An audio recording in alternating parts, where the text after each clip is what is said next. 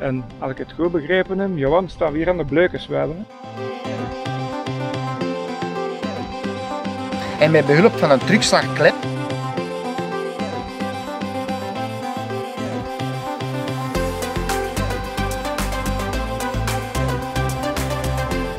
We zijn even gestopt met onze fiets hier op de Zinnendijk. Een dijkgraaf is eigenlijk zo'n beetje de burgemeester van de natuur. Zo, welkom en welkom terug op mijn kanaal Samen op weg met Eddy. Ik zit hier aan de Zinnendijk en hier hebben we aan de rechterkant de Bleukensweide. Wie weet daar meer over te vertellen? Wel, daar heb ik speciaal voor jullie iemand voor gevonden en dat is Johan. En Johan, dat is een dijkgraaf en wat dat is, dat kom je later in deze aflevering uiteraard te weten. We gaan dus rondom Leest fietsen en wandelen.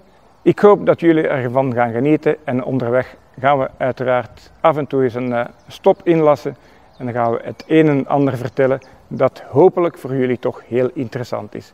Dus we zijn ermee weg.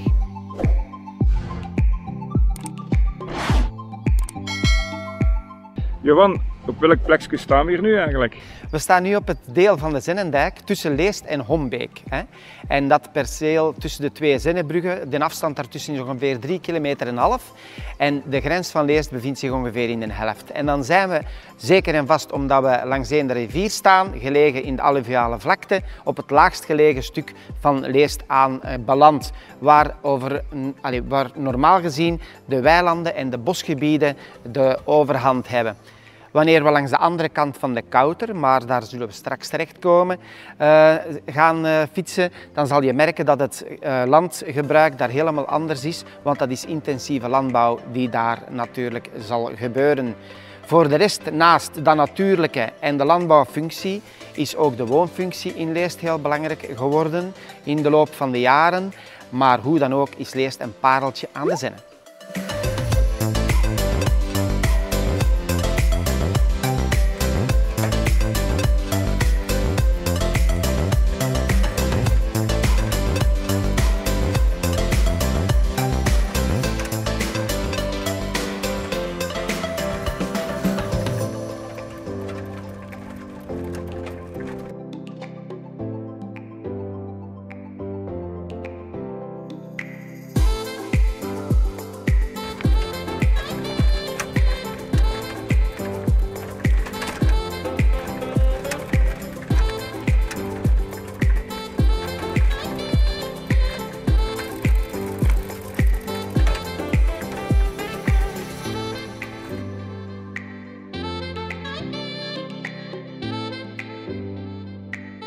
Wat vele mensen ook niet weten is dat de zinnen die wij nu volgen niet altijd op dezelfde plaats gelegen heeft. Eind jaren 1890, 1895 is de Zenne namelijk rechtgetrokken. En de oorspronkelijke bedding van de Zenne, die toen trouwens nog heel vaak overstroomde in de vloeibeemde, hè, dus dan bleef het slip achter zodanig dat die graslanden uh, rijkelijker werden. Die vroegere Zenne die, uh, bevindt zich eigenlijk richting het Koutergebied en is nu ingenomen door een rij elzen, hè, die aansluit op uh, de boerderij van den Broeke, die in de jaren 1250 hier een uh, heel belangrijke hoeve was, met wel meer dan 120 bunders grond. En dat was een deel lager gelegen gebied, de weilanden, en hoger gelegen gebied, de Kouter, waar echt alles in functie stond van landbouw en opbrengst.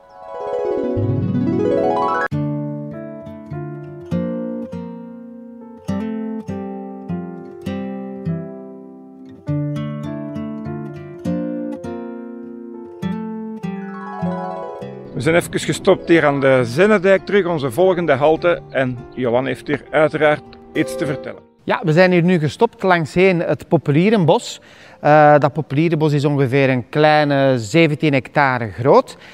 En dat is een bos dat ecologisch en economisch beheerd wordt met binnenkort ook een natuurbeheerplan dat eraan zal gekoppeld worden. Een evenknie van dit uh, privébos ligt langs de andere oever van de Zenne en is vrij te bezoeken, want in uh, eigendom van ANB en Vlaams Gewest. Dat is het gebied Robbroek. Ook zeker een aanrader en daar mag u wel degelijk wel in de boswegen gaan wandelen.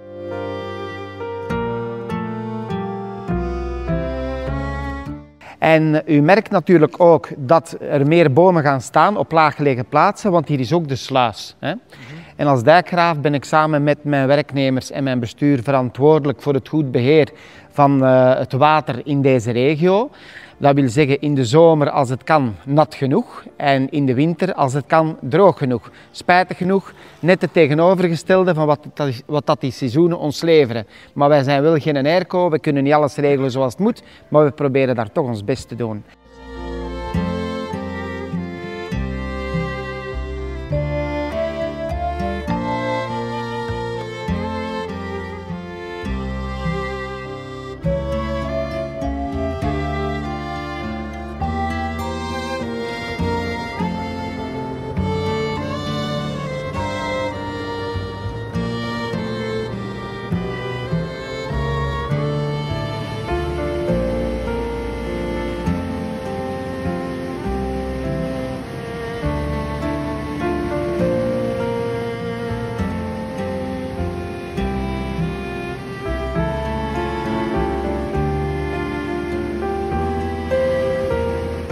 De bedoeling van een sluis is om het achterliggend gebied hè, te laten afwateren in de Zenne.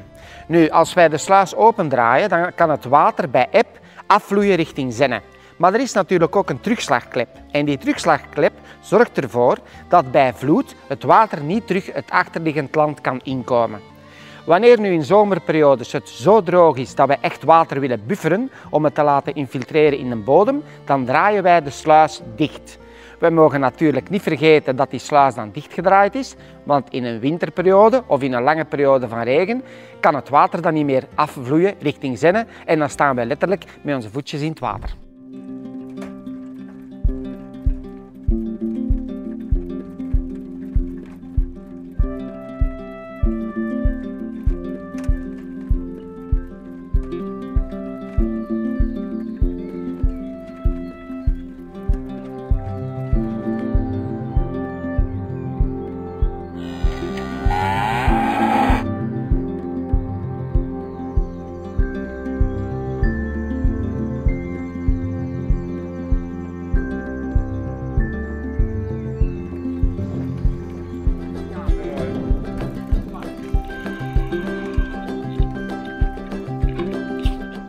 Jaren geleden werden we gecontacteerd door familie van Steenwinkel met de vraag of er een zitbankje mocht geplaatst worden hier op onze eigendom Scheiding Leest Hombeek.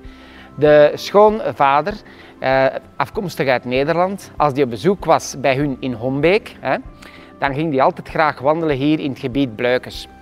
En dan kwam hij hier aan en dan keek hij eens naar de kerktoren van Hombeek, die vanaf hier heel goed zichtbaar is. En dan vond je dat zo'n leuk plaatsje om even uit te rusten. Maar natuurlijk, hier was geen bank. Nu, die werd 80 jaar en als verrassingsgeschenk kwam hij hier aangewandeld. Stond iedereen klaar, vrienden, kennissen, buren. Hè? En wij mochten dan ook meekomen. En uh, dat bankje stond hier als cadeau voor hem en ook eigenlijk voor de rest van de gemeenschap. Dat was hier een etenstafel met drinken bij. Iedereen goed eten à volonté. En vanaf dan hebben we elk jaar dat erop volgde hier de afspraak gemaakt om samen te komen. Iedereen brengt dan iets mee voor te eten en te drinken. En dan is dat hier een gezellig samen zijn. En ondertussen is opa ook overleden.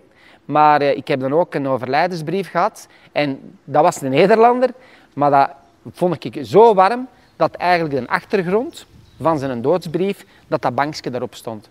Ik vond dat fenomenaal. Het is maar één keer door vandalen weggesmeten.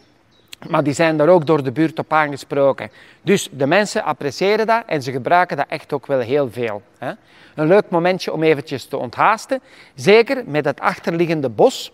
Dat is een eik-esbos. En dat eik-esbos is in de jaren 2004 aangeplant met de toekomstbomenvisie. En misschien moet ik dat eventjes proberen uit te leggen. Uh, eiken en essen hebben wij aangeplant om een investering te halen op lange termijn. Ik heb daarnet al gesproken over die 16 hectare populier. Wij hebben er een 6 à 7 hectare eik en es bij aangeplant om een andere plantensoort te kiezen die niet geoogst kan worden op 20, 25 jaar. En de bedoeling van de toekomstenbomenvisie is om die bomen in een bepaald plantverband te planten, zodanig dat die na een aantal jaren concurrentie hebben bij elkaar. Want een eikenboom Die vindt zijn economisch rendement in de onderste twee derde van de boom. Er bestaan vliegeiken. Ik ga er straks een laten zien. De schoonste van heel de buurt. Maar dit zijn echt wel eiken om later binnen 100 jaar te oogsten. Die stam moet recht zijn en zo weinig mogelijk takken hebben langs de zijkant om geen kwasten in het hout te hebben. En na ongeveer een 20 jaar, want het is het moment dat ik nog harder zal moeten gaan werken, gaan we een dunningskap moeten uitvoeren. Dat wil zeggen dat we de mooiste rechte stammen laten staan en dat we de mindere stammen oftewel gaan oogsten oftewel gaan ringen, zodanig dat die een boom afsterft. En dan is dat eigenlijk voedsel voor de spechten, voor de kevers die dat hier leven enzovoort. Dus de strijd om licht bepaalt de waarde ook van uw hout. Als meerwaarde hebben we dan dit jaar nog eens beslist om hier een bijenhotel bij te zetten. Sommige mensen hebben het al gevonden, maar nu zijn de netels toch al wel een beetje beschermend. Wat is ook niet echt de bedoeling dat mensen hier zomaar de bossen intrekken. Hier zit de sava, maar voor de rest proberen wij wel onze wildstand optimale rust te garanderen.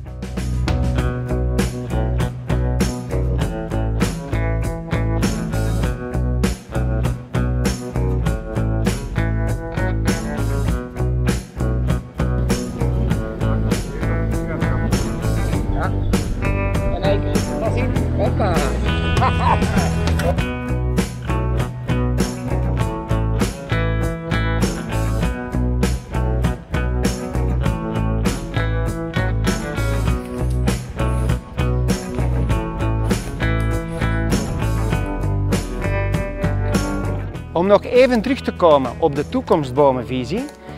Op het moment dat die bomen de hoogte ingestuurd worden, komt er een moment dat je kroonontsluiting hebt. Dat wil zeggen meer schaduw op de bodem. Als er schaduw op de bodem komt, krijg je een heel andere vegetatie. Dat is hier een heel stukje met varens, een heel prachtig tafereel. Nu, op het moment dat het licht niet meer doordringt, dan gaat je een boom ook niet meer investeren in zijn onderste takken.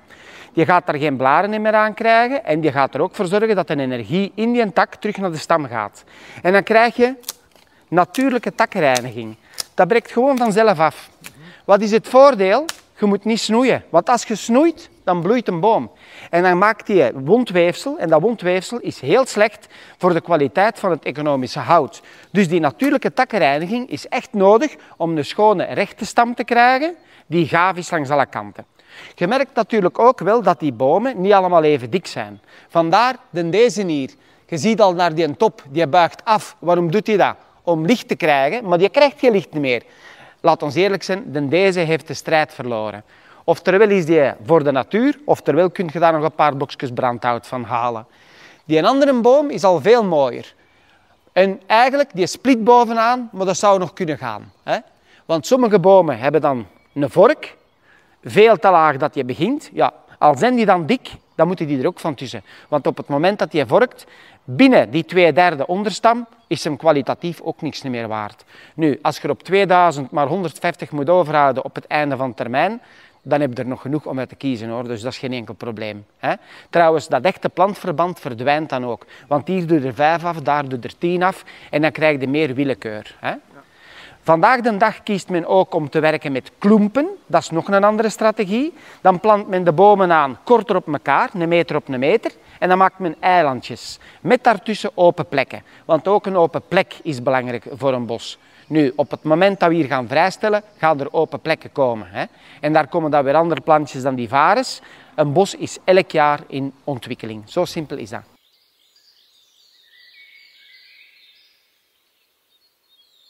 Hier zie je ook nog hoe dat de varen zich ontrolt en men noemt dat ook de bischopstaaf. Je ziet dat heel goed. En dan rolt hij als het ware zijn blaren, als je dat blaren kunt noemen, want het zijn natuurlijk sporenplanten, rolt hij die af en dan krijgt hij heel schoon zijn vaste structuur.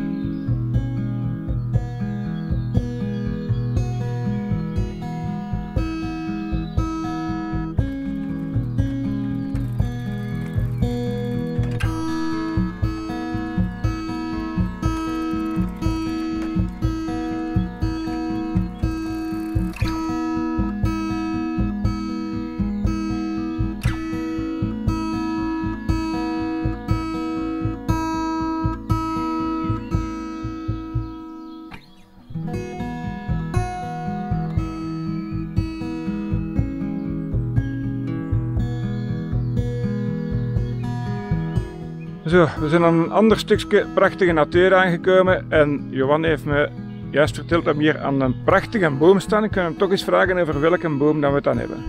Ja, het is eigenlijk terug opnieuw een eik, maar het is geen een eik die economisch kan geoogst worden. Het is namelijk wat men ook noemt een vliegeik. Dus die boom die staat hier alleen, die had geen concurrentie. En als je kijkt naar zijn stam, dan merkt je al wel dat hij hier al wat jaartjes staat. Moet ik die schatten? 250 jaar? Dat zou best kunnen zijn.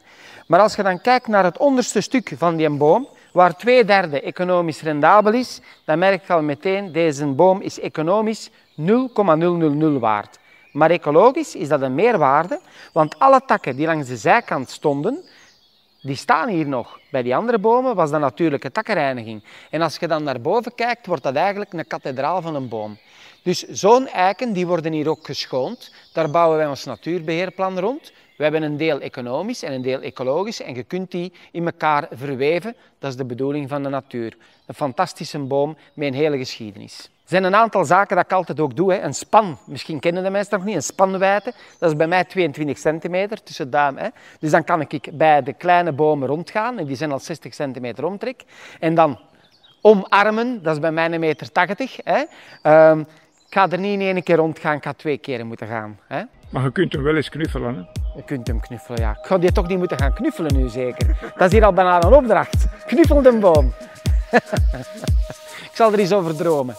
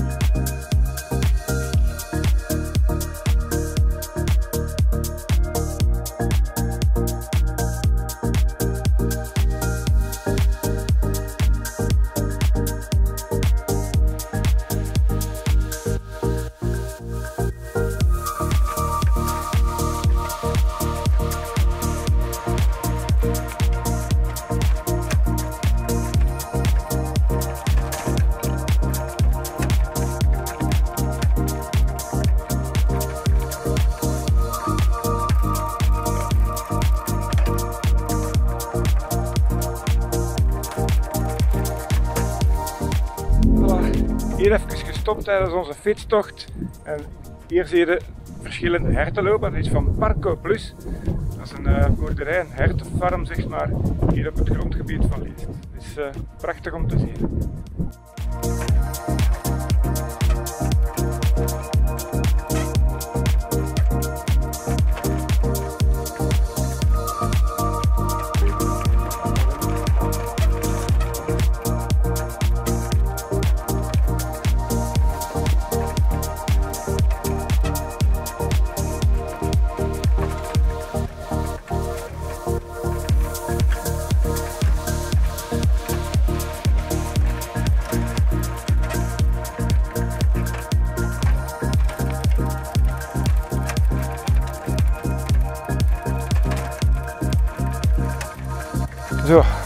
Heel wat fietstocht achter de rug hier. Door de velden, door de weilanden hier in Leest. Ik sta hier voor Hoevenwinkel het Hertsveld. Dat is ook wel uh, belangrijk om te weten. Dat valt hier onder Mechels natuurlijk, zoals je ziet. En dat is een netwerk op het Hombeeks plateau die bezoekers en bewoners willen laten proeven en genieten van het Mechels platteland.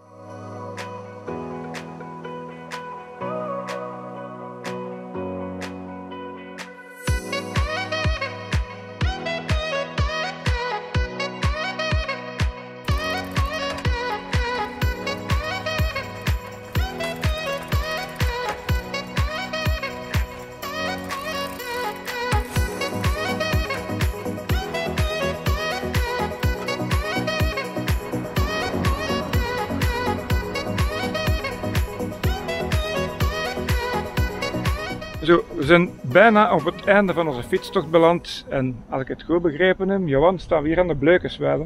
Ja, Klopt. dat klopt, volledig. Zeg eens, wat kun je daarover vertellen? Je zit al bijna een ingeburgerde leestenaar, zei Eddy. Fantastisch wat ik je allemaal aangeleerd. Nu, we hebben eigenlijk alleen nog maar de tour gedaan rond Leest. Hè?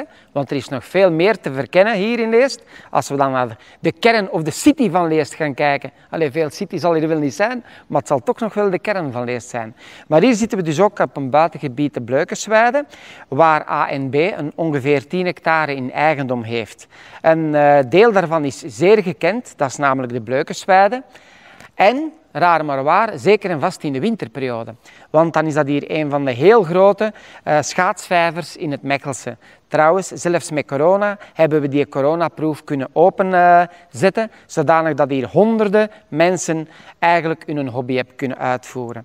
Maar ondertussen zijn we in de, wind, in de zomerperiode gekomen natuurlijk en ziet je toch ook nog de wilde kattenstaarten staan en het water dat op dit gebied is gezet. Nu, dat water komt er alleen op in samenwerking met de waterbeheerder, dat zijn wij. En wij zorgen ervoor dat dat dan aanwezig is om hier een aantal natuurdoelstellingen te halen, samen met ANB. Ik heb hier uh, de laatste maanden lepelaar, bontvlekplevier, uh, groenpoot, ruiter. Je kunt het niet bedenken, maar dat komt hier allemaal langs. En dat weet dus wel degelijk ons leeste gebied te appreciëren. Dat zijn zelfs heel zeldzame waarnemingen al gebeurd, ook hier. Aansluitend op dit gebiedje hier heb je dan ook nog de bos van feiten dat we hier zeggen. Dat was de vroegere eigenaar de bos gelegen achter het brughuis. Dat zullen de meeste mensen misschien wel kennen.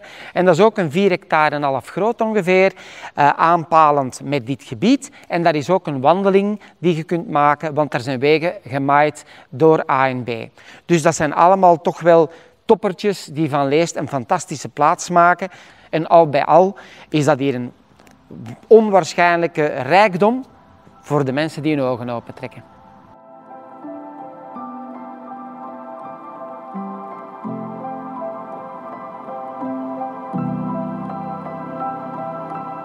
En dan stelt je toch wel vast dat er sommige mensen het niet al te nauw nemen met de schoonheid van de natuur. Veel te vaak worden de honden gewoon losgelaten en beseffen de mensen ook niet wat voor een invloed dat, dat kan hebben voor andere dieren.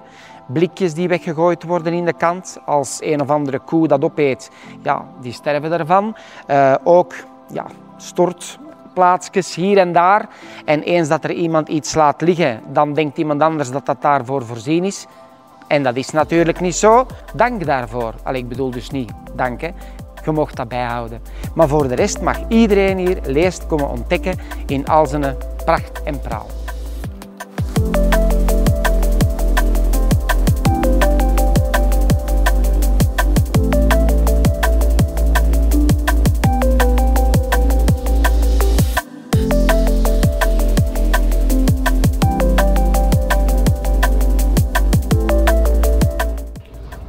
Johan, dus uh, uw functie is eigenlijk een dijkgraaf. Maar ik veronderstel dat heel veel mensen niet weten wat eigenlijk een dijkgraaf is. Uh, een dijkgraaf is eigenlijk een bijkomend engagement dat je doet bovenop je normale job. Ik sta in het onderwijs, ik geef wiskunde in de eerste graad. En ik ben eigenlijk ja, verbonden met de natuur tot en met. Uh, wij beheren bossen. Ik ben ook een uh, actieve jager. Hè. Maar dan wel een jager die aan wildbeheer doet uh, en probeert om zijn jarenlange ervaring ten gunste van fauna en flora te brengen. En ik vind dat trouwens een uitdaging om zelfs een insectje dat ik niet ken, om dat op te zoeken en dan om te weten wat dat is. Dat is ook een manier van met natuur bezig zijn. En zo ben ik eigenlijk via verschillende verenigingen terechtgekomen dan in het bestuur van Polder Willebroek. En zo'n polder, dat is van in de jaren 1500 dat mensen zich groepeerden om hun belangen uh, te verdedigen. Het is te zeggen om de strijd tegen water een beetje te winnen. Hè. Want vroeger was er veel meer last van uh, vernatting dan van verdroging. Vandaag de dag is dat al een beetje anders. Vandaag proberen we ook met die verdroging om te gaan. Hè. En uh, het is dus zo dat een polder een uh, samenwerking is tussen verschillende eigenaars. En het poldergebied waar dat ik nu dijkgraaf van ben, is zo'n 3000 hectare groot. En iedereen die 3 hectare in eigendom heeft, heeft stemrecht. Zo zijn er een 140 stemgerechtigden in mijn polder. En met een verkiezing worden de bestuursleden en dan ook de dijkgraaf, dat is de verantwoordelijke om onze bestuursvergaderingen te leiden, om ook de algemene vergadering te leiden. Want er is ook wel een uh, administratief tintje aan dijkgraaf. Dat is niet alleen eens kunnen gaan wandelen met u, Edi, van belangen niet. Um, maar dat is proberen om de belangen van iedereen te behartigen en om met heel veel actoren samen te werken. Met de Vlaamse Waterweg, met ANB, met Natuurpunt. Al bij al is het een uitdaging en ook een eer om dijkgraaf te mogen zijn van dit poldergebied, wetende dat er op dit moment nog maar een 58 polders en wateringen, want sommige gebieden noemt men dan wateringen en andere noemt men polders, een 58 zijn die eigenlijk ons Vlaamse landschap uh, typeren. Zeg maar, ik het goed begrijp, een dijkgraaf is eigenlijk zo'n beetje de burgemeester van de natuur, of hoe moet ik dat zien? de burgemeester van de waterlopen eigenlijk. Zo wordt het denk ik ook zelfs op de Wikipedia omschreven. Want ja, in mijn school ook, als ik dan uh, aan mijn collega's, aan mijn directeur vertelde van ja kijk, ik ben dijkgraaf verkozen. Ja, het enige dat ik kreeg was een flauw mop over een konijn, een graaf en uh, zo'n schunnig moppetje. Uh, maar daar gaan we het nu niet over hebben, over mopjes. Maar de mensen wisten eigenlijk niet wat dat was. En dan zijn er ook een aantal die dat hebben opgezocht, die dan zeggen van, ja, maar je bent een burgemeester nu. Ik zeg, ja, maar ben ik geen burgemeester? Die worden betaald. Ik niet. Ik doe dat, allee, dat is engagement. Dat is een soort van hobby. Hè? Uit de hand gelopen hobby dan. Maar uh, dat neemt niet weg natuurlijk dat het een, uh, een verrijking ook is. Want ik ben nu de tweede keer verkozen. De eerste ambtstermijn was zes jaar. Nu ben ik aan de tweede ambtstermijn terug bezig. Um, je leert heel veel bij. En dat is niet alleen van andere mensen leren kennen, maar ook van andere visies. Voorbeeldje, wij hebben ook bijvoorbeeld dotterbloem. Hè bij ons in onze grote bos staan. Maar als je dan kijkt hier, de conservator van Natuurpunt, kom ik ook goed mee overeen van het gebied een Battelaar. Die hebben daar een fantastische plek met dotterbloemen staan. We zijn daar dan eens samen gaan wandelen, hij komt bij mij wandelen. Dan kan ik ook wel zeggen van, wauw, fantastisch. Mm Allee, ja. Het woord jaloers is er net over, maar ik apprecieer dat echt wel. Dat die ook gaan voor hun doelstellingen. En dat is wat we nog meer moeten doen, dat is elkaar een keer iets gunnen en zeggen van, jij bent goed bezig. Het is een prachtig gebied hier, hè? Ja, hè? Eigenlijk als je uit de stad Mechelen komt, uit het centrum van Mechelen, staat je versteld hoe mooi de natuur is op wandelafstand van het centrum. Ja, er wordt heel vaak gezegd, oh, er is geen natuur in Vlaanderen en dit en dat. Ja, dan moet je toch een oogkleppen afdoen. En ik besef ook wel dat we niet meer in het oerwoud van vroeger leven, hè, maar dat wij met de ja, de moderne stand van zaken, dat we daar rekening mee moeten houden. Maar wij moeten ook dankbaar zijn van hetgeen dat ons nog rest. Goed, Johan, je zegt je bedankt voor de rondleiding. Een rondje leest eigenlijk. Hè? Rondje leest, voilà. Altijd nog welkom voor een keer de inner circle te doen. Hè? Het stadscentrum van Leest. ja, dat zal wel wat minder zijn dan het stadscentrum van Leest. Maar wat Leest eigenlijk ook typeert van, van vroeger vroeger, dat zijn de oude herbergen, de oude boerderijen. Ja, dat is allemaal uitge... Dat is er nog allemaal, maar die zijn modern geworden, hè? een beetje aangepast aan de nieuwe tijd. Ja, ja dat is zo. Ja, ja, ja. Voilà. Nee, nee, maar het was heel fijn om uh, u te mogen leiden. Hè? Hopelijk met de juiste ei, hè? want anders heb je geleden. Hè? Ja, ja, ja, dat is waar. En dan kijk ik uit naar het resultaat en dan hoop ik dat iedereen zijn weg zal vinden om op een plezante, aangename manier met leest kennis te kunnen maken. En uh, als de mensen ook informatie wensen over leest, er zijn enorm veel groeperingen hier in leest. Er is ook een dorpsraad waar ik mee uh, in het bestuur zit. Er is informatie te vinden op het internet, zoveel als dat je wilt. Maar langs de andere kant, dan zit je maar voor je schermpje, even opzoeken en dan zeggen van schermpje nu weg, filmpje is uitgekeken, we gaan effectief een keer kijken naar eerst. Dus niet alleen het filmpje kijken, ook komen. Hè. Doen! Voilà, nu zie je het zelfs. Het is een dijkgraaf dat het zegt, dus mensen, altijd welkom in Leest. Ja. Ik ga hier mijn vlog afsluiten. Ik hoop dat jullie er allemaal van genoten hebben. En dat twijfel ik niet aan, want de mensen die me kennen, die weten dat het altijd af is.